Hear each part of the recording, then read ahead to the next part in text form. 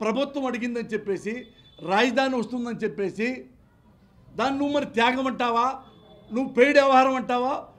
ఇక నీ కర్మది మేమైతే జెన్యున్గా అక్కడ ఉన్న ఆడపడుచులు కానీ రైతాంగం కానీ చాలా జెన్యున్గా ప్రేమతో రాష్ట్రం విడిపోయింది కాబట్టి రాజధాని వస్తే ఆంధ్ర బాగుపడుతుంది మనం బాగుపడతాం మన జీవితాలు బాగుపడతాయి అని వాళ్ళు భూములు ఇస్తే వాళ్ళని పెయిడ్ ఆర్టిస్టులు అంటావా? వాళ్ళు రైతులు కాదా? అంటే రైతులంటే మోకాళ్ళ దాకా పొలంలో దిగి పనులు చేసుకుంటా చెట్టు కింద కూర్చొని ఆనందింటా పనులు చేసుకుని ఇంటికి వెళ్ళిపోయేవాళ్ళ? రైతులు చొక్కా ప్యాంట్లు వేసుకోరా? కమ్మ ఆడపడుచులు మంచి ఖరీదైన బట్టలు కట్టుకోరా. బంగారం గాజులు వేసుకోరా. మెడలో బంగ తాళిపొట్టు తాడు కట్టుకోరా. ఏమయ్యా మూడు పంటల పండే భూములు వాళ్ళు ప్రభుత్వానికి ఇస్తే అలాంటి వాళ్ళు రెండు బంగారు గదులు వేసుకోవడానికి అర్హులు కదా? వాళ్ళు సెల్ ఫోన్ మాట్లాడకూడదా? సెల్ ఫోన్ చేతులు ఉండకూడదా? మా ఇంట్లో పనిచేసే పని అమ్మాయిలు ముగ్గురు ముగ్గురికి సెల్ ఫోన్లు ఉన్నాయి. పని అమ్మాయిలకి ఆటో వాడి దగ్గర ఉంటాయి సెల్ ఫోన్లు. అలాంటి పక్కన పెట్టి వాళ్ళని అదే నేను అంటున్నాను నువ్వు అమరావతి రైతులను అన్నావా?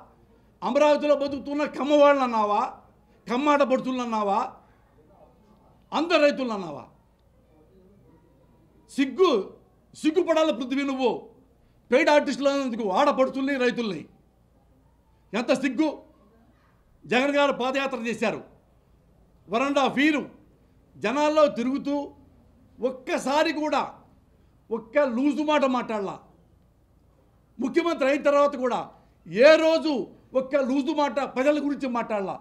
కమ్మ కాపు రెడ్డని పేర్లే ఎత్తలేదు.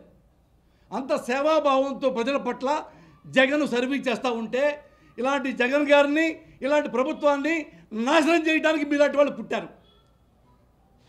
సిగ్గుపడండి. పృథ్వీ నేను ఇప్పుడే చెప్తున్నాను నీకు. నాకు నీ మీద కక్ష లేదు. యు ఆర్ మై ఫ్రెండ్ కానీ మీకు సిన్సియర్గా చెప్తున్నా. రేపు ప్రెస్ మీట్ పెట్టి ఏమైతే నువ్వు చాలా తప్పు తప్పుగా మాట్లాడావో రైతులకి రైతు బిడ్డలకి రైతు ఆడపడుతులకి నువ్వు బేషరతుగా క్షమాపణ చెప్పు. తప్పుగా మాట్లాడాను క్షమించండి అమ్మా క్షమించండి అక్క ఇంకెప్పుడు తప్పుగా మాట్లాడినావు అని చెప్పు. లేదా ఇలా మీరు వాగుతూ ఉంటే నిజంగానే దీన్ని అడ్వాంటేజ్ తీసుకొని ప్రతిపక్ష నాయకుడు తెలుసు ఎలాంటి వాడో తీసుకొని ఇది ఐదేళ్ళ ప్రభుత్వాన్ని ఇప్పుడు ఆరు నెలలు అవ్వకముందే భ్రష్టు పట్టిస్తున్నాడు.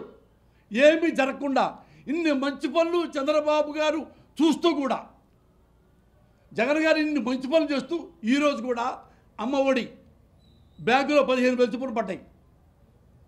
తల్లులకి ఆడపిల్లలకి అంటే వాళ్ళు కమ్మోళ్ళ కాపుల రెడ్ల బీసీల అని చూశాడా? ఓన్లీ రెడ్లు రెడ్లు ఆడపడుతులు మాత్రమే బ్యాంకులో వేశాడా? ఈ బ్యాంకులో పదిహేను వేల విషయాలలో కమ్మాట పడుతుంది లేరా అందరినీ సమభావం చూస్తూ సమభావంతో ఉంటూ ప్రభుత్వాన్ని పరిపాలిస్తున్నారు ఆ జగన్మోహన్ రెడ్డి గారు.